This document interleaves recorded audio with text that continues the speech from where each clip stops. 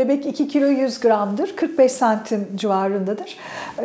34. hafta çoğul gebeliklerden 300 gebelikler için doğum zamanıdır daha ilerleyen haftalarda problem olabilir, risk oluşturabilir. O nedenle daha önceden zaten bebeklerin gelişimi için doktor tarafından önlem alınmıştır. E, o nedenle 300 gebeliklerde doğum planlanabilir.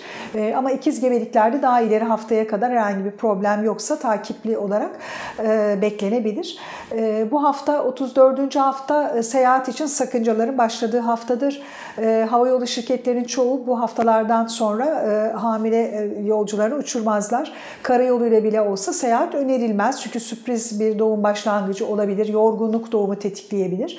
Ee, onun dışında gebelik süresince birliktelik, e, cinsel birliktelik eğer riskli bir gebelik yoksa e, serbesttir. Fakat 34. haftadan sonra artık doğumu tetikleyebilir. O nedenle cinsel pehriz dönemi başlamıştır. E, bir de 34. haftadan sonra hamile bayanların araba kullanmaları uygun değildir.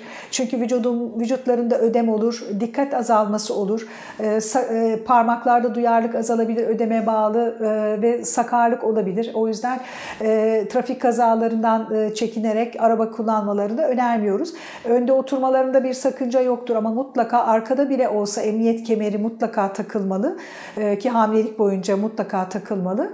E, ama araba kullanılmamalıdır 34. haftadan sonra.